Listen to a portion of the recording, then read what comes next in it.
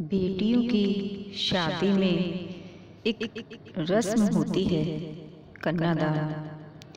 इस रस्म पर मेरे विचार, जिनको ना जचें, माफ़ कर देना, समझ कर नादान।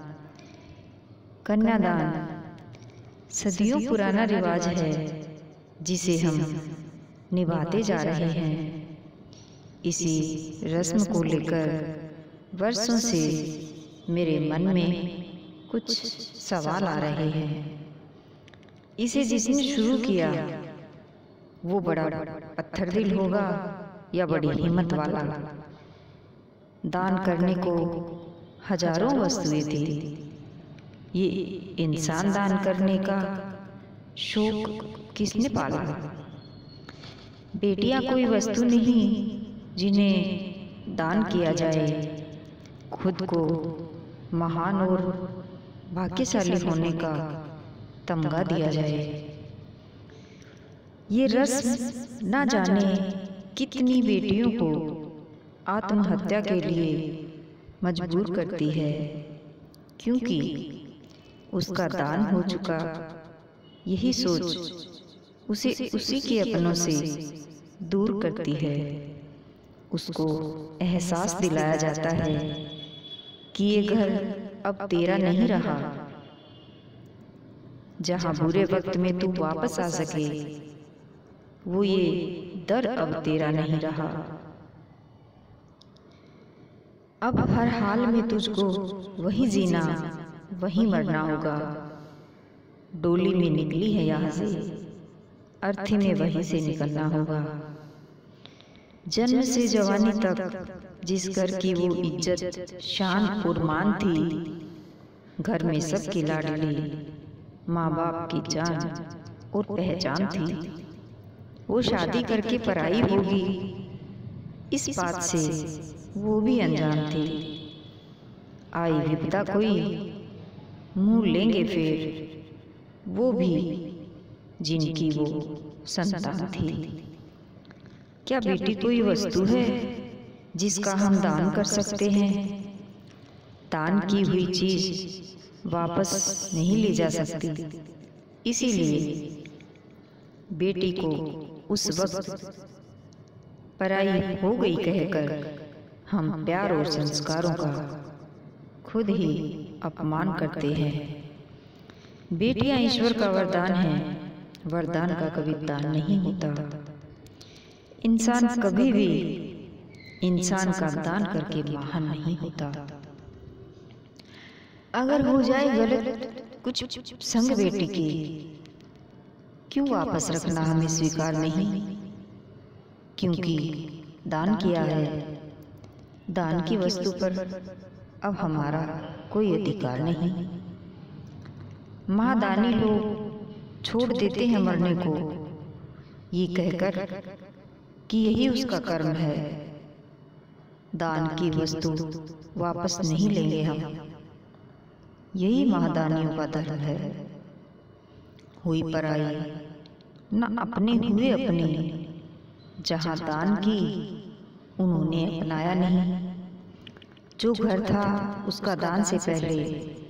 अब घर वो बाप का कहलाए। महादानी बाप ने कर दी पराई। पति का घर अगर उसे ना अपनाए तो ए महादानी कहो जरा वो बेटी अब किस घर में जाए?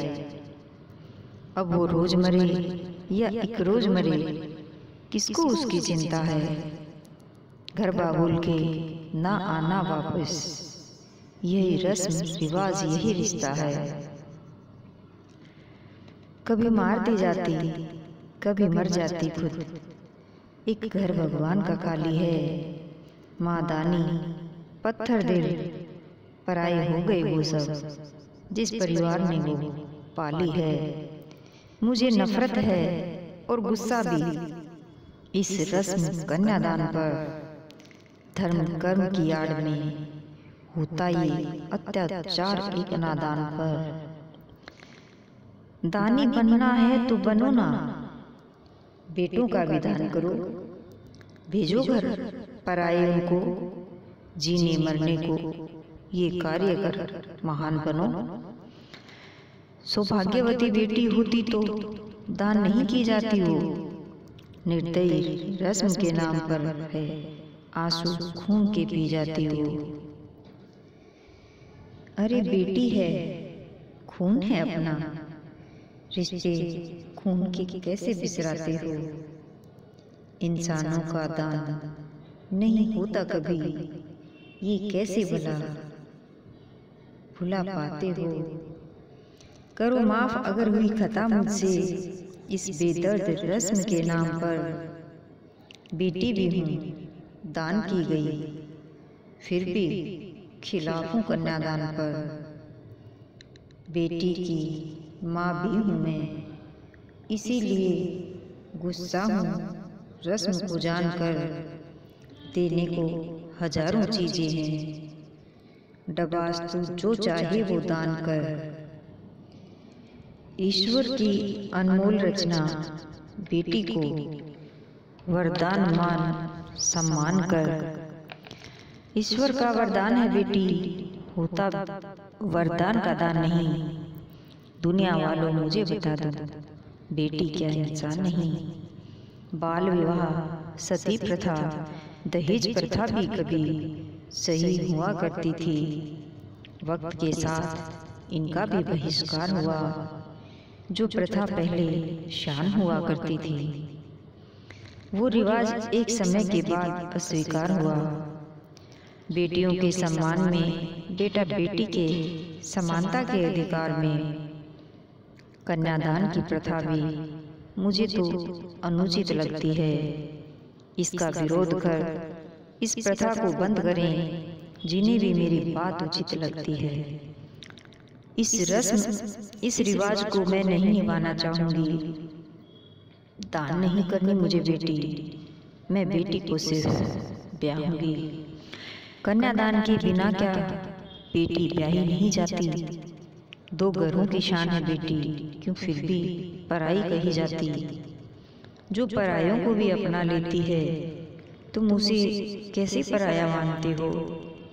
जिसको प्रभु ने दो दो परिवार दिए। वो खुश किस्मत है। सब जानते हो। वो घर कैसा होगा? वो घर कैसे होगा पराया जिस घर आँगन में उसने जन्म लिया? ब्याह करके कुल जिसका बढ़ाएगी उनको अपनाने का प्रण लिया ना बेटी पर आई ना घर पर आया ना रिश्तों को कोई बदल सके। एक लड़का एक परिवार मिलेगा जो, जो जीवन भर साथ चल सके।